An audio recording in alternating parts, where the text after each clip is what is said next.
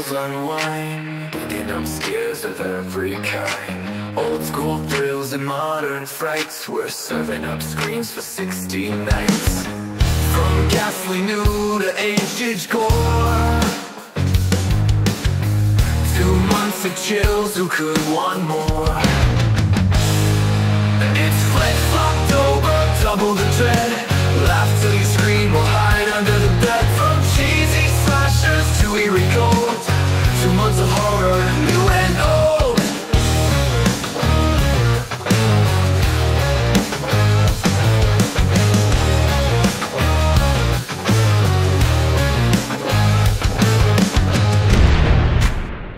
This week, we're carving up Thanksgiving, directed by Eli Roth. In this holiday slasher, a vengeful pilgrim stalks a town after a Black Friday riot turns deadly.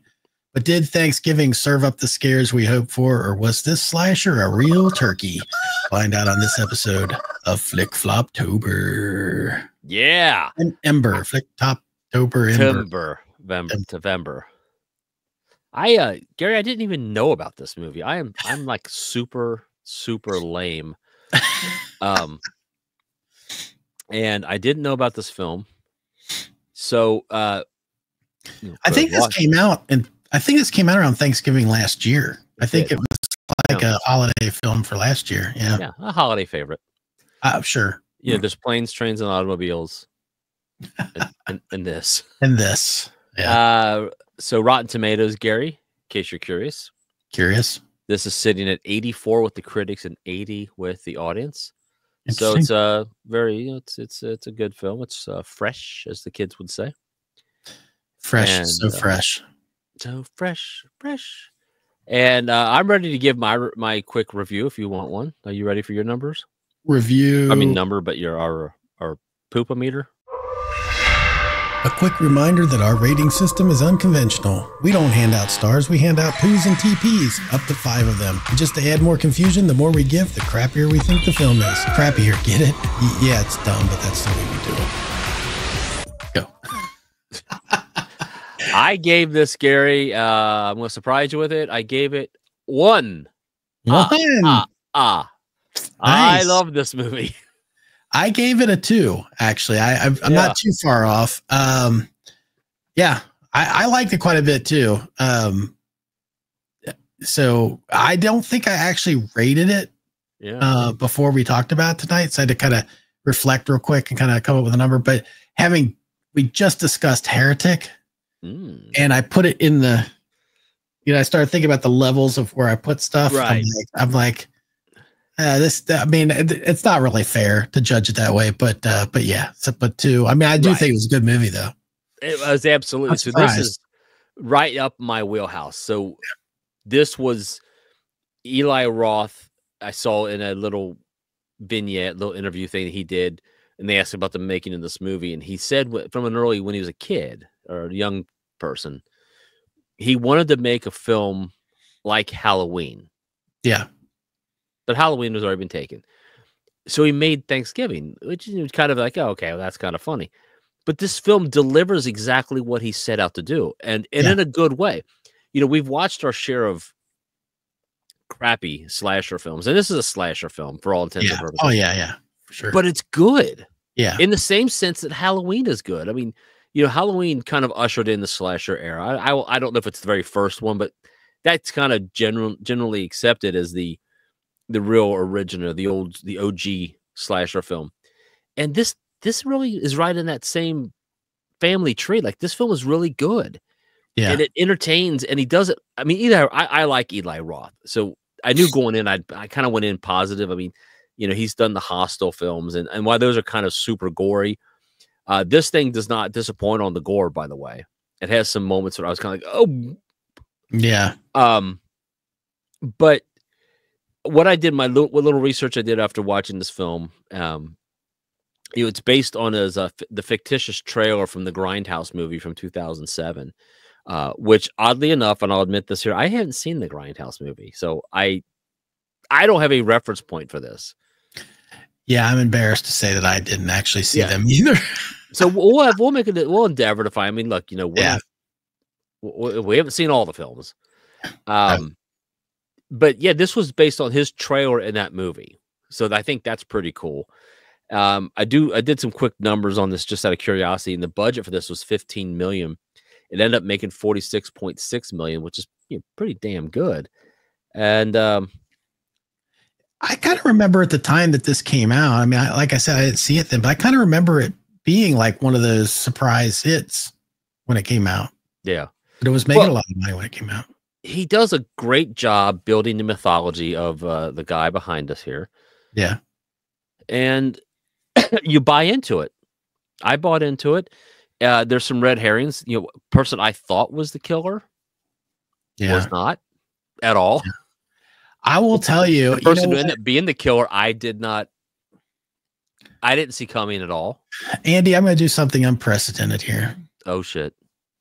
I am going to back my score up to a one instead of a two. There it is. I, I'm changing it because I'm starting to recollect a few things about this movie that I really, really liked. Yeah, like literally, I just saw this movie night Yeah, before s- last. I saw So- like a week or so ago, so it's been a while, but uh, and I've seen many things in between it, so it's hard to recall when I'm. I should have done a, an actual score then. Um, but it, when you were just talking about, it, I was remembering a few of the things about it. It does such a it. It got me with the killer. Yeah. Uh, we won't say anything to spoil in case you haven't seen it, but I will tell you that I went back and flipped through the movie again because I was like, "How's that possible?" Did they telegraph it? No, no, no. Well, I wasn't worried about that. I was more like, yeah, but wasn't the person The right logistics of it. kind of right that like yeah, I was trying to try to work through that. And so I backed up and actually kind of watched the movie like a hat like half of it again to try to line everything up and see if it was actually possible. it, does, does it work out? Uh, from what I saw, it it it it, it did. There's a little. There's some still questionable. There's some parts. stretches. Yeah, there's some there's a little bit of but for the most part it was like, well, that per he that particular person wasn't in that scene that I thought he was. He, Mhm. she, whatever. Uh kind of spoiler free. um um yeah, anyway, oops. but uh, No, but but- you're right because I did that too. When the- when the killer was revealed, I started doing some like, wait, would that have been possible? Because there's like, Yeah. uh, well, uh, not to give any, but the, the parade scene is what really threw me off yeah, because I was like, well, where would- where would he have been during the parade?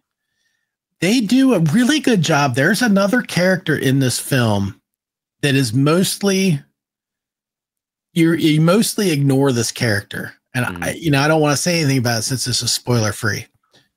And that character actually ends up taking the place of the killer in your mind when you recall that scene.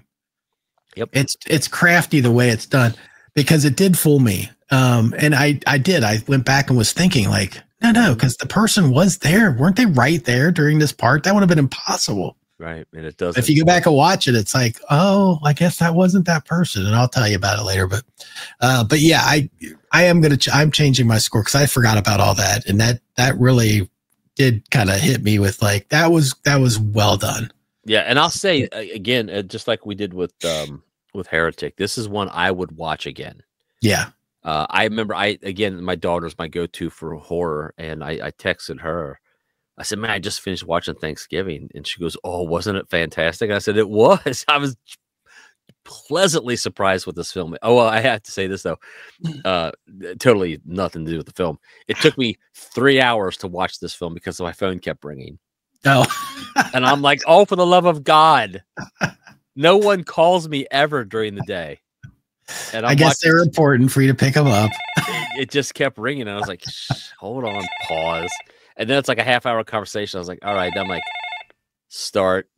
And I mean, I, I literally get I'm ten minutes in, the phone rings again. I'm like, "Oh, you're killing me! You're just killing me here." Um, real quick, one of the things that I that I that I appreciate about this film also was it is it's a straight up it's a return to straight up slasher films with like you said with Halloween. I didn't know that. So knowing that it's like, oh yeah, that's obvious now because it really feels like an old school kind of slasher. Yeah. Um, there are some ridiculous kills in it. There's Oh there's my God. kills- there's some I've got a note on one of the kills that I'm like, come on, like there there's some of them that are just there's no way it could happen, but it's funny. It because it actually made me kind of chuckle because it was so ridiculous. Um, I got a couple more notes. I don't know how many notes you have. We can bounce Yeah, back. and that, that's you it. want. You can go ahead. Okay, I those want to say notes. there's one character that I thought that is that dude looks like a young David Schwimmer. I don't know if you caught that. The one guy, I know I was exactly like, what you're talking about. young. David Schwimmer. um, I put that it's kind of in a weird, weird time period. It feels like a throwback to the '80s in feel, but they have cell phones. Right. Um, you see some of the vehicles, there are newer vehicles, but then there's these really obviously 80s vehicle, like the truck and stuff that's in it. And I'm like, I don't, I don't know if this is like just some backward, like old, like town that's, it was Yeah, confusing it- with a time little period. time bending. Like It was, it was confusing that part. There were a couple Mark Cuban references in it. Um, Yeah. I would, I noticed one. And then when I noticed the second one, I was like, like, what's up with that? Like, of all the things, like, of all the Two- people to reference. two Mark Cuban. It dates the movie, which is weird. It's like really like two Mark Cuban references. Yeah. Um, if you know who Tim Dillon is, Tim Dillon has a cameo in this movie. He's in it. Um, he's a comedian. If you don't know Andy, um, he was actually in uh, Joker Two. Wait by the minute. way, he is the comedian in Joker Two. He was the uh, security guard that asked to get the book signed. um, So wait. don't ask, don't ask me who he was in this one because I got the notes on it, but I don't recall at the moment. Okay. Okay. Um, but he's in it, uh, and I'll look that up real quick in a, in a few moments to tell you. Uh, I wrote down ridiculous kills, and I also wrote down three lockbox Yes. because I was like, Andy's Which again is an odd reference because right because it's an '80s. like people weren't even listening to that song in the 90s. yeah, So like this film is clearly set in a modern era and they're cranking a little Hagar, which is yeah, it was bizarre. Um, all of that aside to say that it was it was a very enjoyable film, and I and I and you know you kind of it's kind of nice to have more movies for around Thanksgiving that are in the horror genre to watch. Mhm. You know, uh, we got we got quite a few with Christmas. Um, Yeah. and it's time to, add some I'll- Thanksgiving ones. and I'll, I'll just say this, and I'm sure people out there uh, uh, will agree with me, although they're probably not watching this show. Um, I was getting ready to take. I was trying to get you. Uh, I, I look. I like Eli Roth. Uh, the guy delivers. He usually. I, I don't know his entire filmography, but I mean, everything of his I've, I've watched. He's just always delivered. I think he's a really good filmmaker, and um, I'm always on board with Eli Roth. I, again, like I said, I can't say I've seen everything of his. Um, just like I haven't seen everything Tarantino's done, but they're all part of that that universe. Yeah. And uh, I like these filmmakers, and uh, uh, good job, Eli. And I, I hope. Um, I I think I I thought I wrote it down, but I don't see it. Yes, here it is. Uh, there is a sequel coming Good. next year.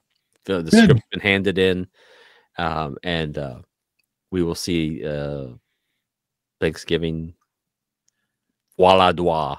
I like I like the fun the fun uh, thri- uh slasher films.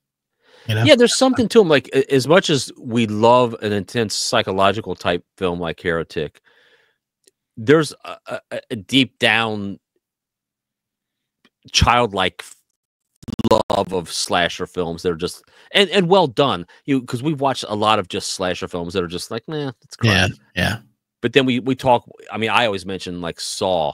I think Saw was a very well done gore fest movie. yeah. I buy into whatever the crazy storyline is, and I did the same with Thanksgiving. I mean, it was a little, you know, a lot over the top, but well done, well done, Yep. Mr. Roth. Well done, Mr. Roth. Well, thanks everybody. Please like, comment, subscribe, and let us know if you were faster than us to watch Thanksgiving since we're a year late. Um, yeah, And if you did, let us know down in the comments what you thought about it. And uh, we'll catch you next time. bye.